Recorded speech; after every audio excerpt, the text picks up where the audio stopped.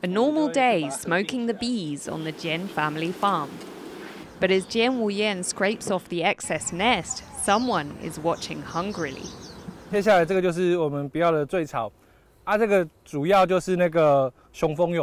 That's the part this crested honey buzzard likes most.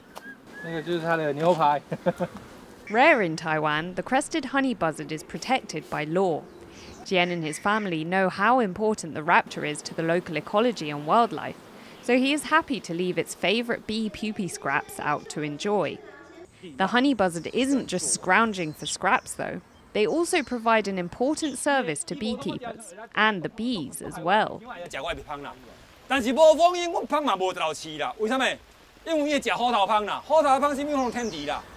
This symbiosis shows the success of the wildlife conscious agriculture the Chien family practices, experts say.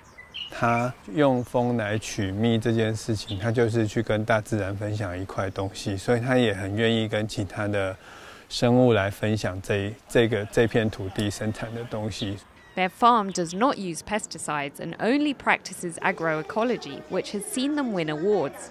But for them, it means more than that. 我们就是保有我们的环境，然后让物种得以延续，而不是为了这些物种去改变很多很多的地貌。And as long as farms like the Chien families are doing this important work, Taiwan and its vital species can continue to enjoy nature's sweet abundance. John Su and Sally Jensen for TaiwanPlus.